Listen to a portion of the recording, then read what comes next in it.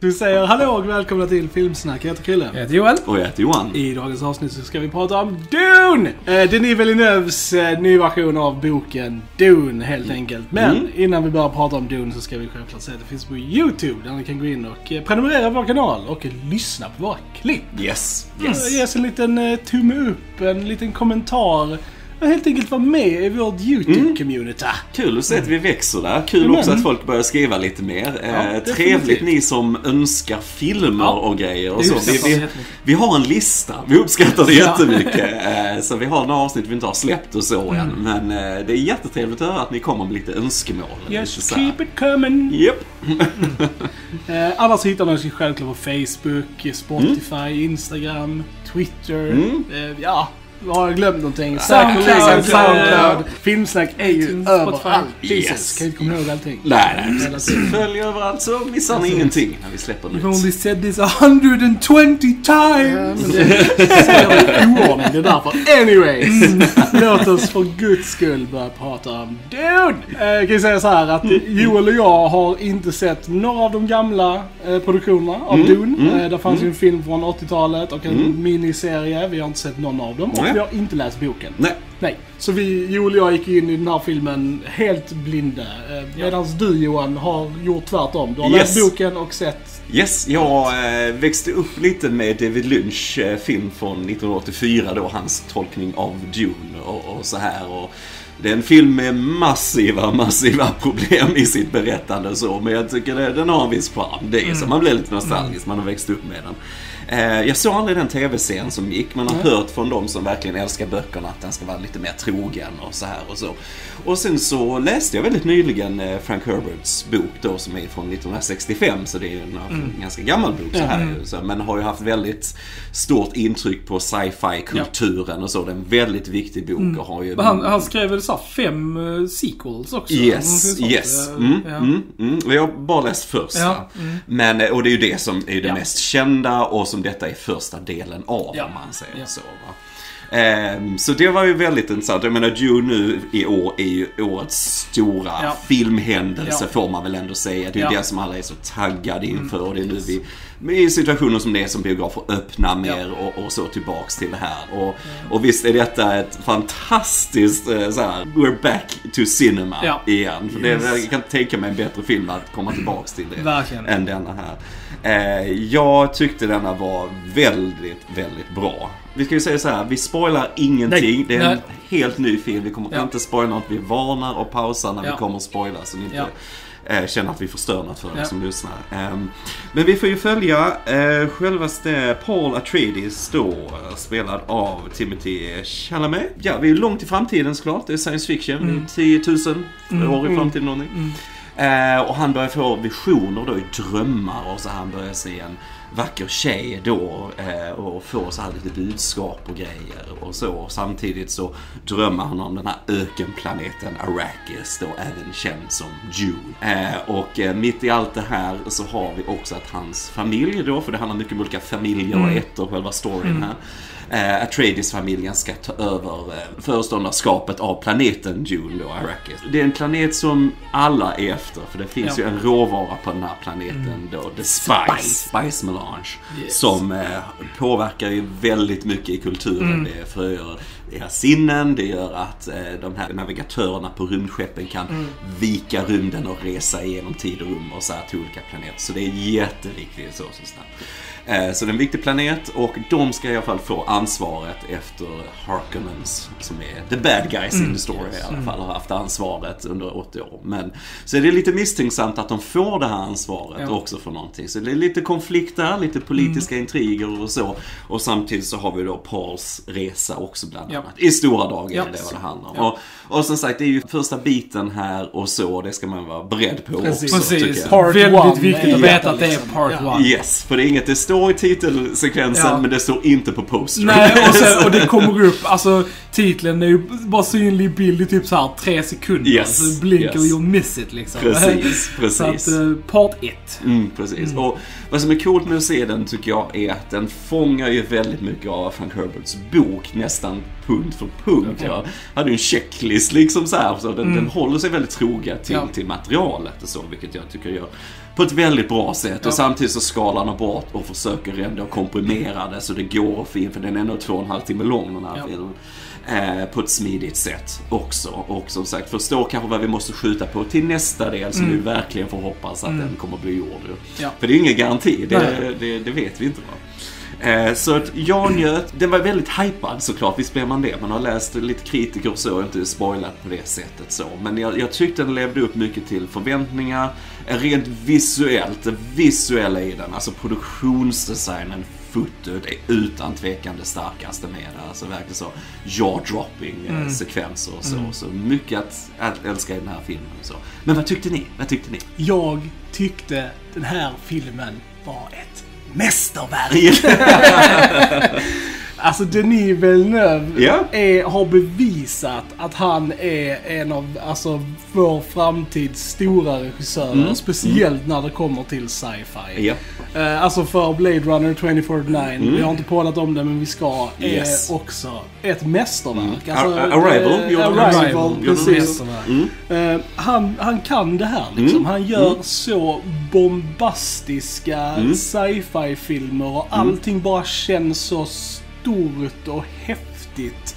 Och, och, och som du säger, alltså produktionen i denna är insane.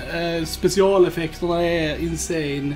Skådespeleriet är sjukt bra. Det är en tight story. Alltså, den är 2.35. Jag tyckte den kändes som typ en och en halv timme. För mig flög det Verkligen. förbi. Ja, det gick fort. Det gick fort, Eh, jag. jag var underhållen från första rutan till sista Mm. och jag can't wait for the second one. Och det är bara min tagning på en som inte har läst böckerna och sett någonting av det. Nej, och det är fantastiskt. Ja. Det är ju fantastiskt.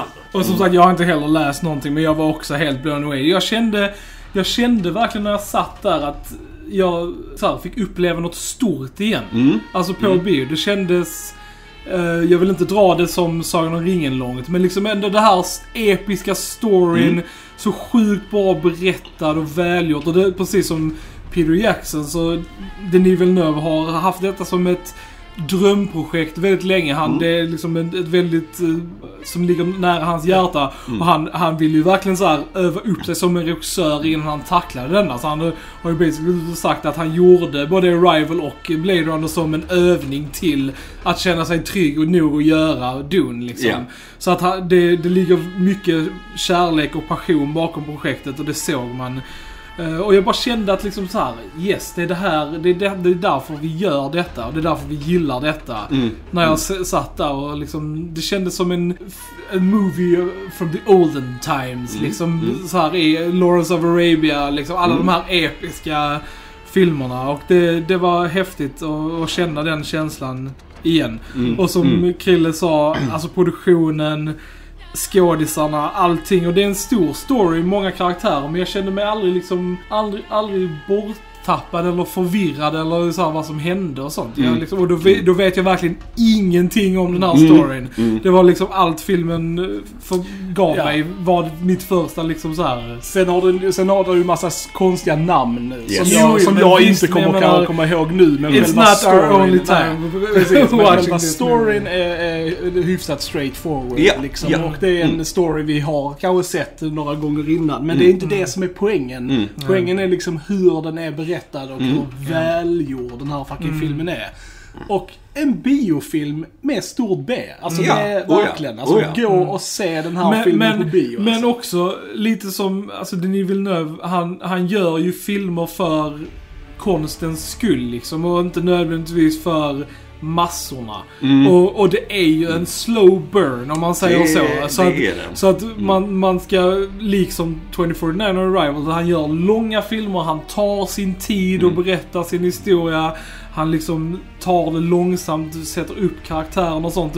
Så att är man, vill man bara så här, oh jag vill se en Action, action, fast action. page Ja, action precis. liksom. Mm, Bara, nej du kommer inte få det här utan du kommer få en sjukt episk första del i liksom en... eh, Precis. Liksom, så här, tvåpart-film liksom.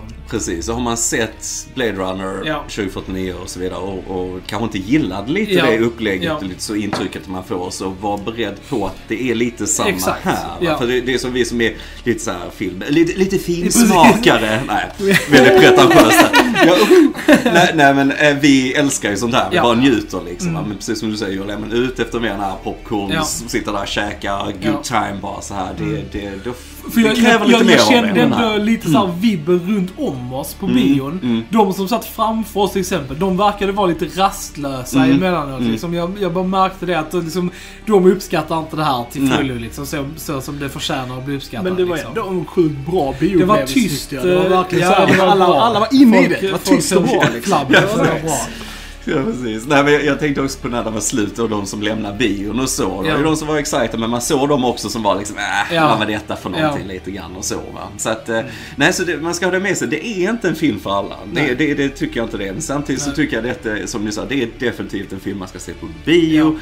På den största bioduken ni kan Verkligen. hitta närmast er och så va. För att det, det, är verkligen gjort från den scopen, det där storslagna. Det, det är Epic the Movie. Det som jag mest slogs av och så när jag såg den i alla fall. Och låt oss inte förglömma soundtracket till den här filmen Ja. av Hans Zimmer. My God vad bra det var alltså. Jag tyckte Ja. det var Väldigt stört passande. och liksom, Mm. Det var inte over the top. Och det var liksom, men det, det kändes som att det passade perfekt eh, tonen och Alltså the look Mm. of the movie Mm. också tyckte jag liksom. Med, Ja, det passar de har ju samarbetat innan ju också på Blade Runner Mm. 2049. Så det är lite mer den här moderna Hans Zimmer, lite mer minimalistiskt och så Ja. liksom. Så det var ju väldigt, väldigt vräkig Ja. film det här. Och det passade musiken till och så. Ja. Sen är jag, måste säga, jag är väldigt svag för soundtracket till eh, 84-filmen. Okej. För det är det Toto som har gjort musiken där. Och där finns det så här prophecy theme och så här. Det är lite mer tematiskt och så. Och det är jag väldigt svag för när det kommer till, till film och så här. Ja. Star Wars till exempel, alla Ja. teman där. Och Ja. vi Ja. pratat om Sagan om ringen och så.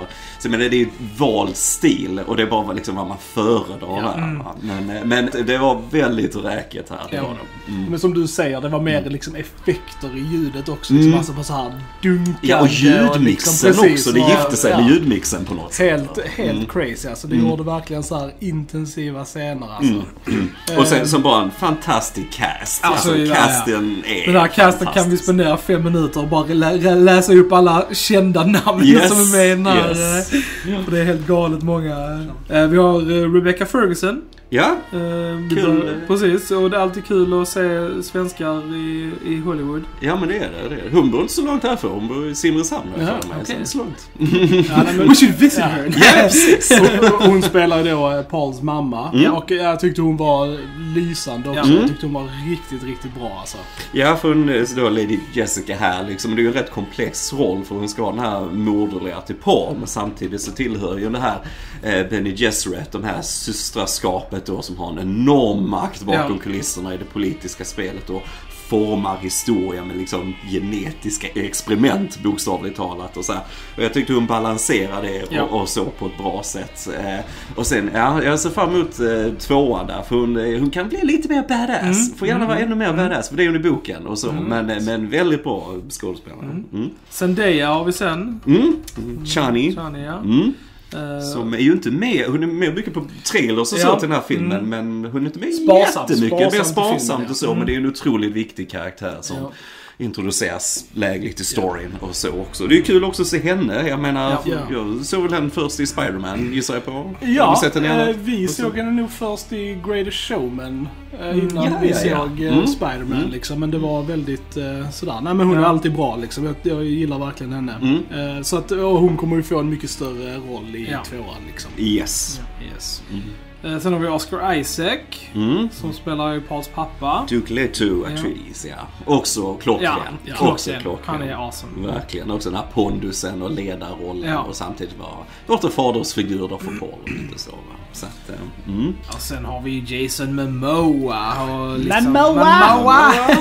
Såklart. Duncan Idaho. Duncan Idaho, ja. ja. Awesome namn. Ja, precis, precis. Också så här badass krigare. Kanske lite typecastad är han nu men... Lite så. Lite Jag så. saknade hans beard. Ja. Jag gillade inte Mm. att han var beardless. Det försvann lite sen. Hade det i början, så ja, försvann det lite sen senare. försvann det. Ja. Jag gillar inte det alls. Jag bara såhär, han ska ha skägg. Ja. Ja. Och så har vi, måste nämna David eh, Dastmalchian som eh, vi... Han började...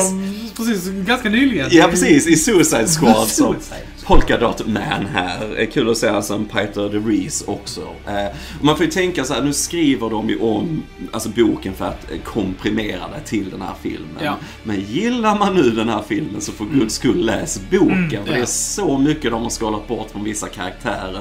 Vissa fall kan jag känna nästan lite för mycket. Alltså så va. Blinkar så missar de Ja, ja. nästan som karaktärer. Va? Så, Okej. så gillar ni det så läs boken. Säger man. Ja. Mm. Ja, alltså Dave Batista har vi ju som en, eh, eller som en ja, militärledare ska man väl Ja, säga. ja, precis. Han är som Beast Raban Ja. och så är som från Harkonnen-sidan då. Precis. Ja. Eh, Josh Brolin. Mm.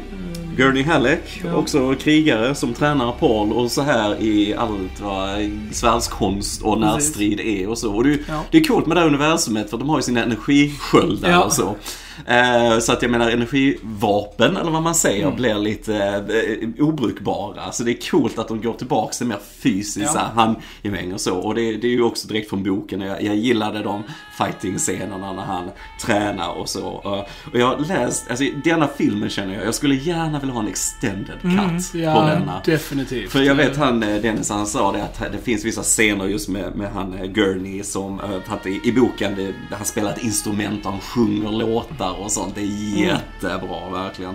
Det vet jag är filmat, men han fick klippa den och så. eh, För det gör mycket för hans karaktär också. Men Josh Brolin också klockren från boken, castad och så. Hans. Även om jag bara hör Thanos när han pratar nu. Ja, Thanos. Du tänker på. Thanos. Ja, men det är bara först, första line ur hans mun. Jag bara, ja, Thanos. Ja, ja, ja. Sen har vi Javier Bardem. Mm, som Stilgar här, Yes. som är ledarna för de här Fremen-folket som precis. är ursprungliga urinvånarna Ja. på Arrakis och så ju. Så att, eh, som kämpar ju då mot eh, först Harkonnen och sen så eh, försöker sluta allians nu med Ja. Atreides, så var vi här i handlingen. Mm. Och sen en till svensk, Stellan Skarsgård. Mm. Som eh, Baron Harkonnen. Yes, alltså han njöt jag av Ja, att se ja. här.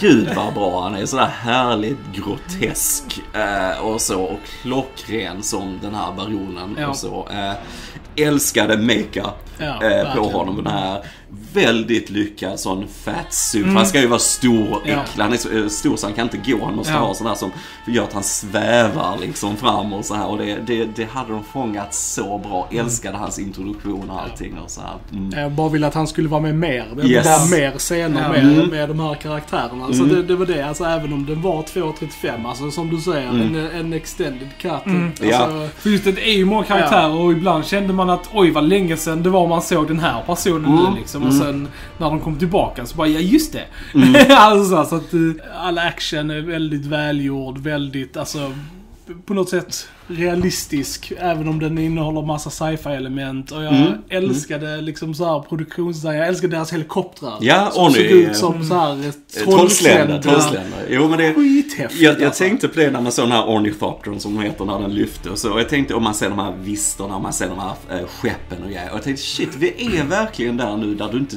tänker riktigt på att Ja. det är datan Nej. där. Det är ju inte riktigt såklart, men effekterna är på sån hög nivå. Samtidigt allt, alltså green screen eller Ja. så som är med i bilden.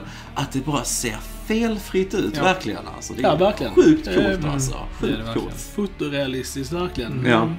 Ja, nej alltså som sagt. Ja. Gå för tusan och se den här filmen. på Mm. Gillar man Ja. mediet film för film, alltså inte bara så här, nu ska jag koppla bort hjärnan lite, utan man uppskattar själva mediet film. Mm. Så se den här filmen. Alltså verkligen. Det är nästan värt för att se fan Greg Frasers foto enbart. Nästan. Ja. Han fotar ju även den här Rogue One, Star Wars-filmen och så. Han, Mm. han bara gör allt så jäkla vackert. Det är alltså. nog en Oscarsnominering på. Ja, jag, jag tror denna filmen kommer ta i alla fall de tekniska grejerna om det Mm. inte händer någonting. Alltså foto, produktionsdesign, ljudklippning. Ja. Kanske att Hans Zimmer får en Oscar här. Ja. eh, Vem vet. Men, eh, men som sagt, eh, för er som är lite tveksamma. Har ni sett några av hans tidigare filmer, Dennis här, och Mm. kanske inte känner att eh, lite så, så är det lite av samma stil Ja. och stuk gjort. Va? Så det får man ju tänka lite på. Mm. Och så. För jag, jag, som sagt, jag älskade verkligen boken. Där får man så mycket djup i den och så. Men Och det, det gjorde, alltså konstigt nog så fick jag lite distans till det eftersom jag precis hade läst den Ja. nyligen. Så på ett sätt önskar jag att jag inte hade gjort Ja. det faktiskt. Eh, för det gjorde att man satt liksom och jämförde lite Ja. grann och så här. Och jag hade kanske velat ha lite hjärta och värme, lite Mm. mer mellan karaktärerna och så. Och eh, Dune-boken har ju typ noll humor, Ja, verkligen. ja. Här är Mm. lite skämt i alla fall Mm. och lite så. Men, eh, men kanske ändå lite mer eh, hjärta i filmen Mm. ändå, rent objektivt också. Men annars, um, ren, jag menar, cinematic Ja. eh, pleasure. Ja, verkligen. Fantastisk film. Ja, Visst, är det. Mm. Varenda. Bildruta är en tavla alltså. Mm. ah, Jag är ju snudd på It's det. so good alltså. Verkligen, Jag verkligen. är, jag, är så, jag är så lycklig, jag är så glad när jag får se såna här filmer Mm. på bio liksom. För jag fick inte se Blade Runner 2049 på bio. Nej, ni gjorde Jag inte gjorde det. inte det, så vi såg den, ja, i och för sig på din TV, som inte är fy skam det heller. Nej. Men, men alltså det här var bara Ja, amazing det var- på bio. var liksom. awesome. Ah, Ja, nej, Blade Runner var fantastiskt. Men, eh, men samma där som vi sa med publiken. Jag var och såg en premiär med min bror och så här, och efteråt, och vi har ändå Harrison Ford och så, men, men då sitter de som inte bryr sig så mycket och de bara Ja. "Eh, Vad gjorde Han Solo i den här filmen? Och så här. Och, så här alltså jag menar, mm, är, Ja. är du så, så gå inte och se Nej. film. Precis. eh, jag Då kan du kolla på 50 shades of Grey. Ja, jag ber om ursäkt till alla som gillar Du- 50 shades of Grey. Du klarar dig med Netflix hemma då spara de pengarna om- Ja. i så fall. Mm, lite så. Mm. Ska vi gå in på Vi spoilers? pratar lite spoilers tycker Yes, yes. jag. Då säger vi Spoilers. spoilers. Spoilers. Ja, Where to begin. Eller hur? Precis. Mm. Var Gissel. börjar man? Men jag bara också att jag blev så chockad över all craziness som hände liksom. Mm. För jag var inte beredd på att vi skulle förlora karaktärer i Nej, den här det är ju filmen heller, många liksom. som inte klarar sig. Precis, så jag liksom var typ såhär, nej! Ja.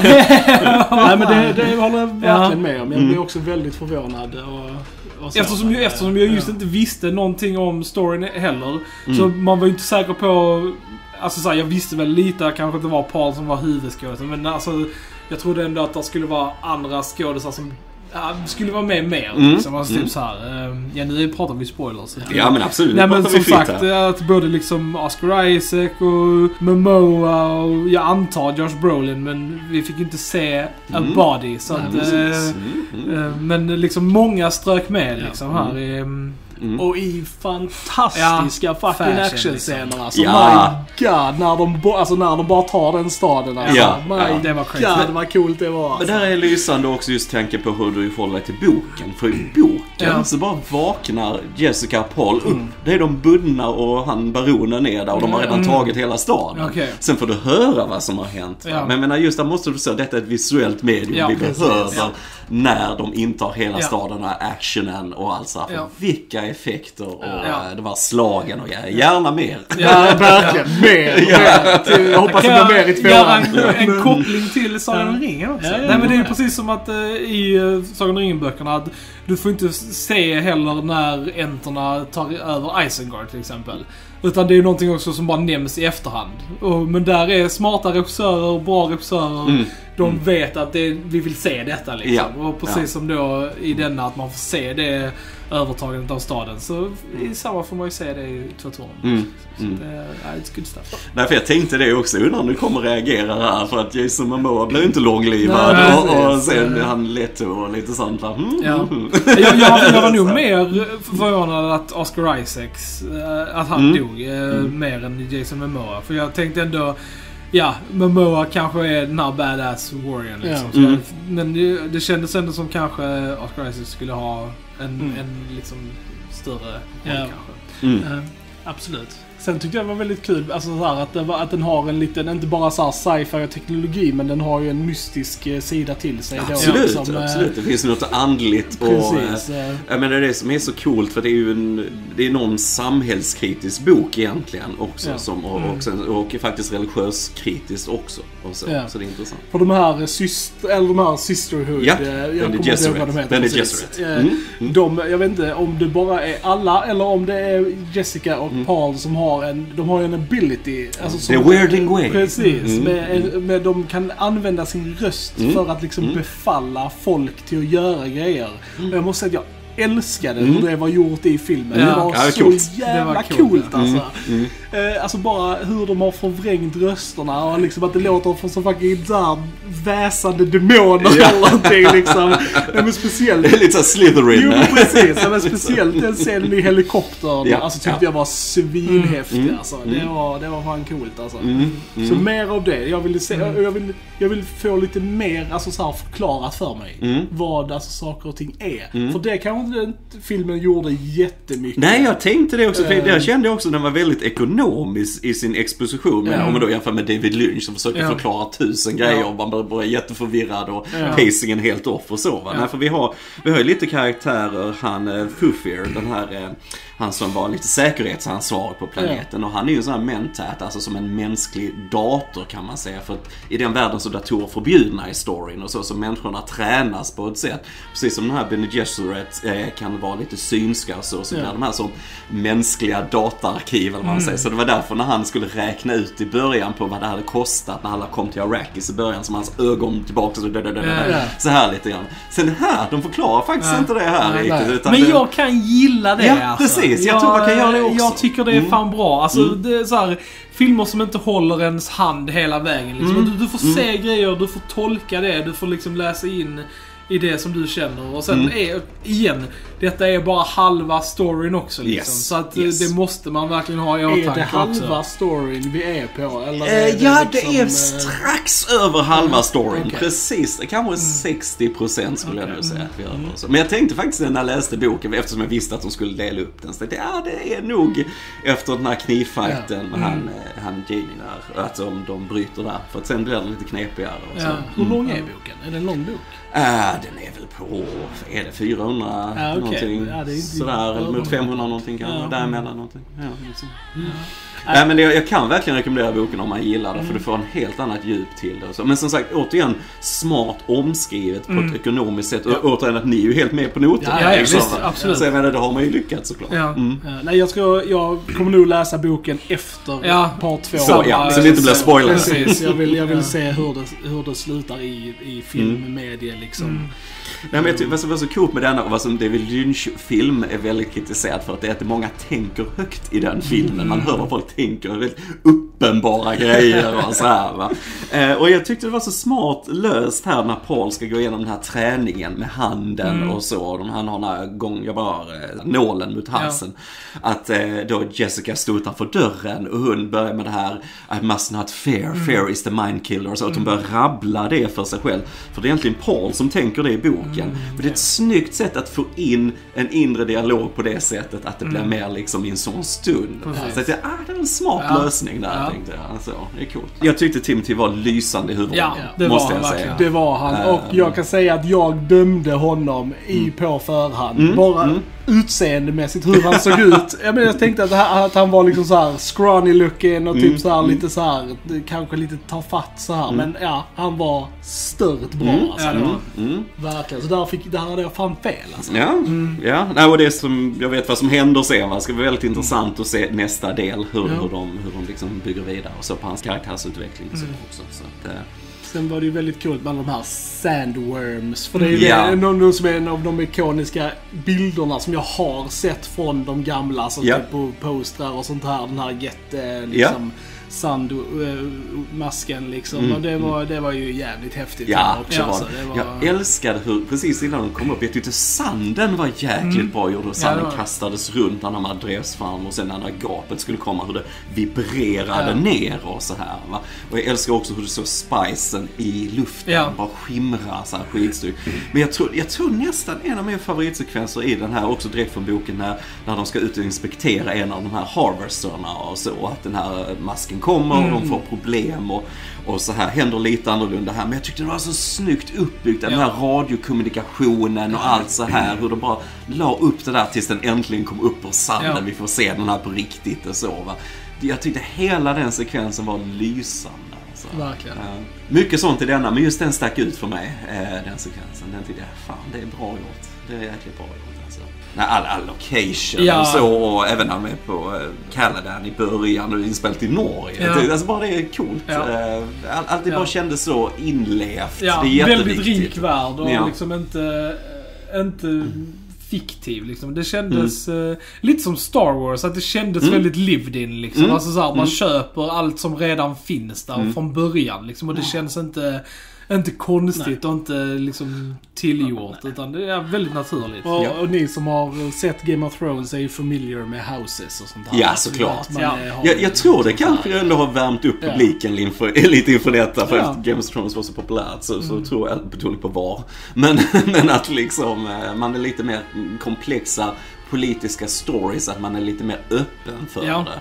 För att jag tror, går man in för det här och tror det är mer, som vi sa, äventyrlig, Star Ja. Mm. Wars-aktig så kanske man blir besviken och lite förvirrad, tycker det är lite tråkigt. va? För, för boken är ju väldigt dialogdriven. Där är ju Det är action ju också, men, typ men som liksom... tidigare säsonger av Game of Thrones Ja, fast lite in så. space. Mm. Alltså det är lite så här med En den mogen typen. Liksom. sci-fi helt Ja, enkelt. mogen Ja, sci-fi, väldigt ja. så här, eh, Ja, nej men all, alltså, allting bara hade en sån jävla umf i Ja, sig. ja. Alla ljudeffekter, alla explosioner och de här lät ornithopters och stormarna och... Nej, jag vet Det inte. kändes i bröstet Ja, men många det- gånger ja, liksom. ja, Vibrerade. Fucking, ja, det var coolt. Verkligen, alltså. Ja. verkligen häftigt alltså. Så, alltså. Och jag tror är man ett massivt Dune-fan Mm. som har läst böckerna hundra gånger och har velat ha en film så här så tror jag man blir väldigt, väldigt nöjd. Mm. Det, det tror jag. Jag tror man känner att man får det man har längtat efter. Man har haft några sunkiga varianter så Jo, får men man liksom en, precis, eh. en bra, bra, välgjord film på alla sätt och så. Och, men som sagt, konstigt nog så blev det lite distans för mig med boken eftersom jag hade Mm. den väldigt fräsch i, i, i sinnet. Så rent emotionellt så var jag inte riktigt eh, så engagerad i det. Men det är en film som jag kommer att se Precis, många och det, gånger. det är svårt Ja. Mm. för jag, jag, har, jag har ju samma relation till, eller hade samma relation till Harry Potter-filmerna. Alltså jag sönderläste böckerna liksom och det tog mig många tittningar innan jag helt kunde släppa att det var en annan Mm. adaption. Liksom. Alltså, Sluta jämföra med böckerna för det är inte samma medium. Det går inte Precis. att göra liksom. Utan måste bara titta på filmen Mm. för vad det är liksom. Och det tog lång tid innan jag lyckades göra det med Harry Potter. Mm. Så att jag, jag kan förstå det att det är en klurig Men detta är en grej. film som jag som sagt kommer att se Ja, många jag gånger också. och köpa på Verkligen. super 4K Den kommer Ja, införskaffa sig Ja. 4K. Gör de det här rätt så kan detta bli alltså, favorit sci-fi för mig faktiskt. Tänk del Eh, två och sen om vi får extended också Ja. kanske till ettan när vi Det får en sån häftigt. lång komplett. eh, Ja. Det, det hade varit helt fantastiskt. Sagt, det är bara just det att jag gillar många av karaktärerna för böckerna och, och så, här, man får vara ekonomisk. För, men som vissa, som han eh, Dr. Huey som, som Ja. sviker dem ju. Alltså det är Mm. också mycket mer komplext i boken. Han är mycket mer gråare karaktär. Och han, han blev också väldigt förenklad. Jag Ja. förstår varför det är inte det. Ja. Men Ja. jag liksom, mm, okej. Eh, och jag menar, vissa karaktärer dör. Jag ah, kände inte sådär jättemycket Nej. liksom. Va? Så att... ehm, Han kanske kommer på en omtitt känner Ja men, ja, men jag tror det. Det är ju definitivt en liksom. film som jag har sett Ja. många gånger. Ja. Och sen så,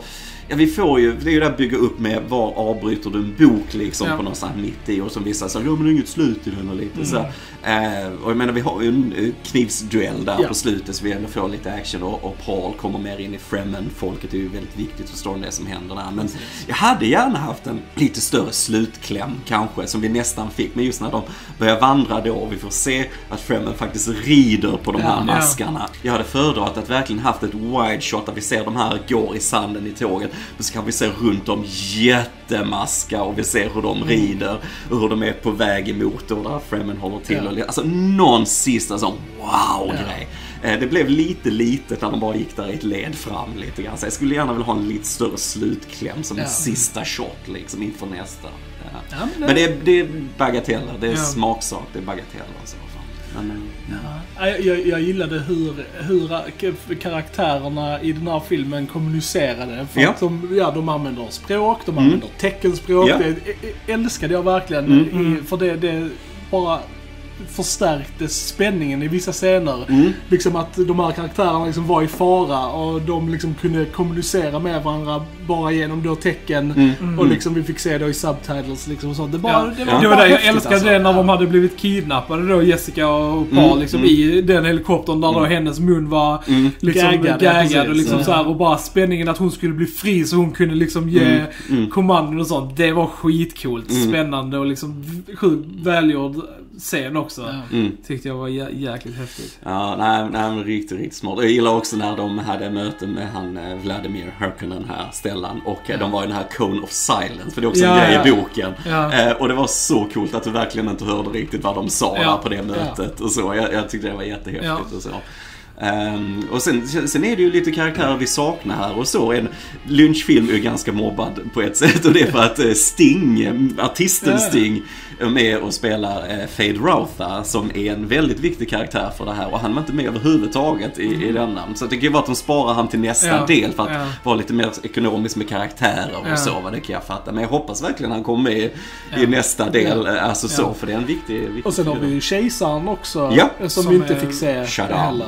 Ja, precis. Mm, mm. Ja. Ja. han är också väldigt intressant. Så att, eh, mm, det ska bli coolt. Det ska bli coolt. Nej, och jag älskar designen och de här eh, kejserliga, den här Sardaukar, de här eh, trupperna, deras planet där de tränades Ja. på. Så jäkla mörkt att de hade människor upp och nerhängda sådär korsfästa nästan och blodet och jag gillar att den var rå sådär på sina Ja. ställen och jag gillar också att eh, liksom Arrakis kändes som en rå planet som Ja. inte är snäll mot någon egentligen va? Lite klimatet där och så. Och, och det blev som en egen karaktär på något Mm. sätt. Det, det tyckte jag är coolt. Ja, Eh, verkligen värmen där liksom. Just att med de här dräkterna de var tvungna på sig sånt. Så var jäkla cool detalj att de är på den här, jag är med i Norge innan. Mm. Men sen när de reser då till Arrakis så man får verkligen se när de öppnar portarna på skeppet och ljuset träffar alla karaktärer. Hur de blinkar till och Mm. Ja. så här individuella shots på det. Jag tänkte, ah det är också en jäkligt snygg detalj för de är inte vana vid ljuset. Ja. Alltså bara sådana grejer löjligt coola är och så. Och,